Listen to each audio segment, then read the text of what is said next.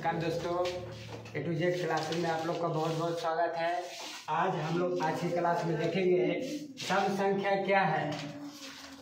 सम संख्या क्या है? यानी इवेन नंबर क्या है?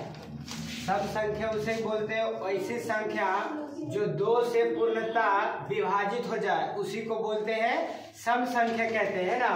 वैसी संख्या जो दो से पूर्णता विभाजित हो जाए, यानी विभाजित के मतलब दो से पूर्णता कट जाए। जैसे इसका एग्ज़ाम्पल में है, दो, चार छ आठ, नौ नौ नहीं हो सकता, क्योंकि नौ विषम संख्या है। जो नौ है, दो से पूर्णता नहीं विभाजित होगा, इसलिए दो, नौ को हम लोग नहीं बोल सकते हैं कि सम संख्या है। हाँ दस हो सकता है, ग्यारह भी नहीं होगा, बारह, ऐसा ही लगे चलेगा कहाँ तक? अनंत तक। अगर आपसे पूछ दिया जाए कि सबसे छोटी सम संख्या क्या है तो सबसे छोटी सम संख्या होगा दो। लेकिन इसमें पूछ दिया जाए कि सबसे बड़ी सम संख्या क्या होगा तो हम लोग ज्ञात नहीं कर सकते। जैसे कि हम लोग पहले देखे थे, पहले वीडियो में कि पूर्ण संख्या क्या है? ज़ीरो से स्टार्ट होने वाली संख्या को पूर्ण संख्या बोलते थे। वहाँ तो सब होता था कि सबसे छोटी पूर्ण संख्या ज़ीरो। यहाँ होगा कि सबसे बड़ी सम संख्या को भी ज्ञात नहीं कर सकते। सबसे बड़ी पूर्ण संख्या को भी हम लोग ज्ञात नहीं कर सकते थे।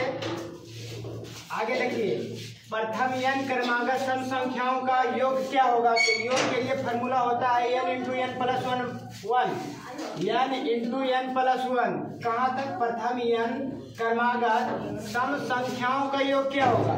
तो n into n plus one जैसे आपसे एग्ज़ाम्पल है, इसी टाइप के एगो एग्ज़ाम्पल देख लेते हैं। पचास तक के सभी सम संख्याओं का योग क्या होगा?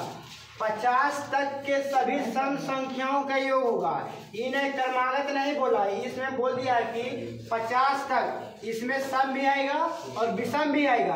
कहाँ तक? पचास तक में आधा सम होगा, आधा विषम। तो अगर यन यन का मान होगा यहाँ तो कहाँ? पच्चीस। क्योंकि पच्चीस सम होगा और पच्चीस होगा विषम। तो यन के मान होगा कहाँ? पच्चीस को सम। तो इसलिए यन का मान पच्चीस होगा। अब योग के लिए फॉर्मूला क्या होता है? N into n plus one. N के मान पच्चीस? अब पच्चीस प्लस एक, छब्बीस। पच्चीस गुना छब्बीस करेंगे तो आएगा साढ़े छः सौ। अब योग के लिए फार्मूला है n into n plus one लेकिन औसत के लिए फार्मूला होगा क्या? N plus one n plus one खाली। एन के मान कितना हम लोग निकाले थे? पच्चीस। अब पच्चीस में एक जोड़ेंगे तो कितना आएगा? छब्बीस। छब्बीस होगा, इसलिए प्रथम पचास तक के सभी सम संख्याओं का औसत कितना होगा? तो छब्बीस। औसत बराबर बताए थे, क्या होता था? योगफल बटे संख्या। आगे देखिए कि प्रथम पचास सम संख्याओं का औसत ज्ञात करें।